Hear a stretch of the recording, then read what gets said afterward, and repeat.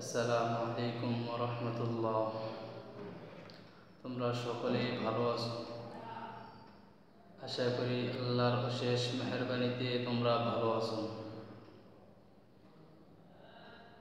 Class শুরু হওয়ার আগে দুটি কথা বলে নিই। মাদ্রাসায় যেরকমভাবে ক্লাস শুরু হওয়ার আগে কয়েকবার রব্বি জিতনি আইলমা, তারপর দুরুশরী পড়েনি। ঠিক বাসায় যখন পড়তে বসবা কয়েকবার রব্বি জিতনি আইলমা, তারপর দুরুশরী পড়ে নিব আজকে আমরা ক্লাস শুরু করব। ক্লাস শুরু হওয়ার আগে আরেকটি কথা বলে নেই। তোমাদেরকে গত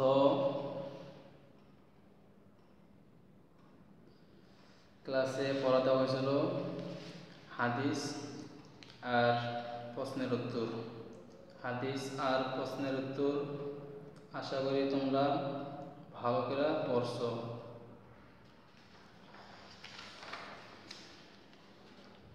তোমাদেরকে হাদিস দেওয়া হয়েছিল তেইশ নম্বর হাদিস। তো এই পরীক্ষার আগ পর্যন্ত তোমাদের তেইশ নম্বর হাদিস এর আগ পর্যন্ত থাকবে। অর্থাৎ প্রথম মাসিকের পরীক্ষা তোমাদের হয়েছিল চোদ্দ থেকে আঠারো পর্যন্ত, চোদ্দ থেকে আঠারো পর্যন্ত এর ভিতরে পরীক্ষা হয়েছিল। তো এই পরীক্ষা অর্থাৎ তোমাদের এই মাসিক পরীক্ষা যেটা সামনে আসতেছে, এই মাসিক পরীক্ষায় প্রশ্ন হবে তোমাদের উনিশ নম্বর হাদিস থেকে নিয়ে তেইশ নম্বর হাদিস পর্যন্ত। উনিশ নম্বর হাদিস থেকে নিয়ে তেইশ নম্বর হাদিস পর্যন্ত। পরীক্ষার আগে আর সামনে হাদিস বাড়ানো হবে না। আল্লাহ যদি হায়াতে বাঁচিয়ে রাখে, পরীক্ষার পরে চব্বিশ নম্বর হাদিস থেকে পড়ব। তা আজকে আমাদের হাদিসের আলোচনা এই পর্যন্তই শেষ।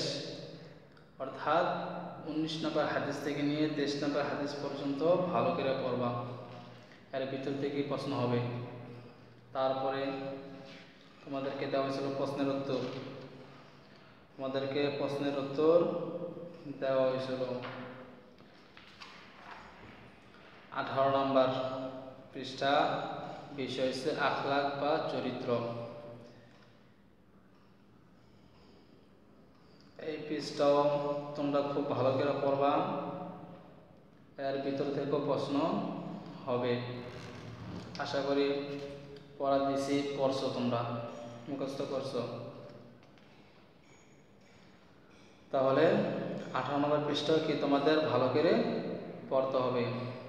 আজকে আমরা নতুন একটা পড়া পড়ব। তোমাদের ইসলাম শিখে নতুন একটা কি পড়া পড়ব? তা হলো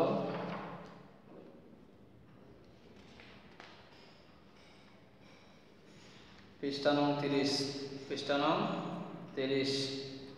বিষয় হচ্ছে মাসেল বিষয় মাসেল একবারে শুরু থেকে পৃষ্ঠার শুরুতে লেখা আছে, নামাজের ওয়াজিব চোদ্দোটি, নামাজের ওয়াজিব চোদ্দোটি।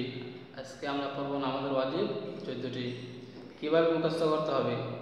যেভাবে তোমাদেরকে মাদ্রাসায় পড়ানো হয়েছে, অর্থাৎ একটা পড়া কি বারবার পড়তে হয়? যখন একটা পড়া হয়ে যায়, সামনে একটা পড়া আগানো হয়, তারপর সামনের পড়া পড়ার পরে, মুখস্থর পরে আবার পিছন থেকে মিলাতে হবে। অর্থাৎ একটা পড়া সামনে যাবা একটা পর আবার দ্বিতীয় পড়াটা কি পিছন থেকে মিলাই নিবা।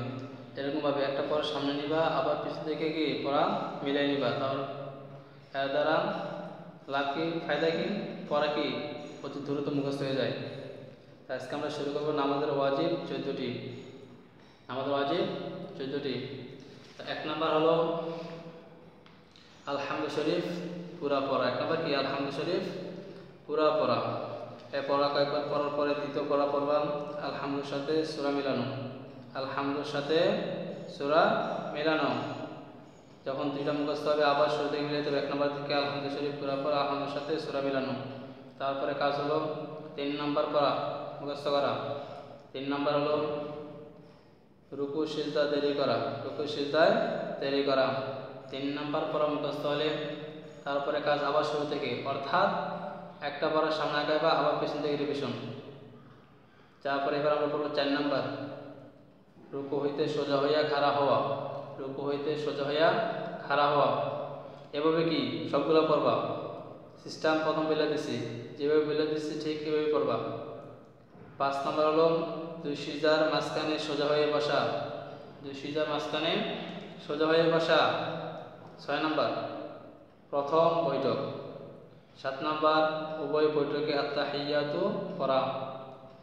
আট নম্বর, ইমামের জন্য কিরাত আসতে এবং জোরে পড়া। নয় নম্বর হল ফরজ নামাজের প্রথম দুই রাকাতকে কিরাতের জন্য নির্ধারিত করা। দশ নম্বর হল প্রত্যেক রাকাতের ফরজগুলো তারতিব ঠিক রাখা। এগারো নম্বর, প্রত্যেক রাকাতের ওয়াজিবগুলোর তারতিব ঠিক রাখা। বারো নম্বর, বিতিরের নামাজে দয়ে কনুত পড়া। বিতিরের নামাজে দয়ে কনুত পড়া।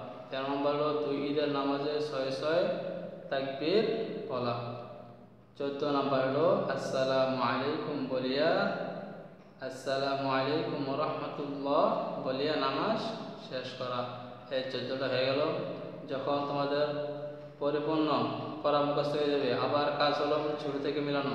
শুরু থেকে শেষ পর্যন্ত এইভাবে কয়েকবার পড়ার পরে যখন পরিপূর্ণ পড়া মুখস্থ হয়ে যাবে, তারপর অবশ্যই মাদ্রাসা,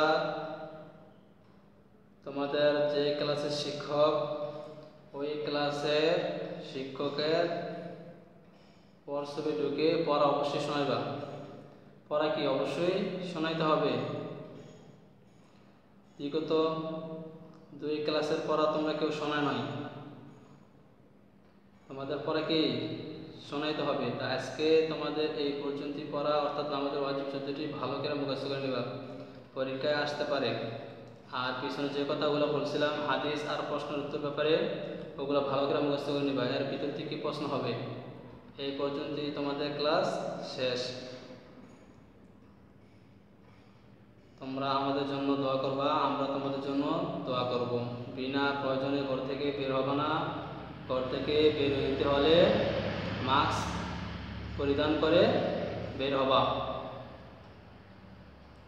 السلام عليكم ورحمة الله.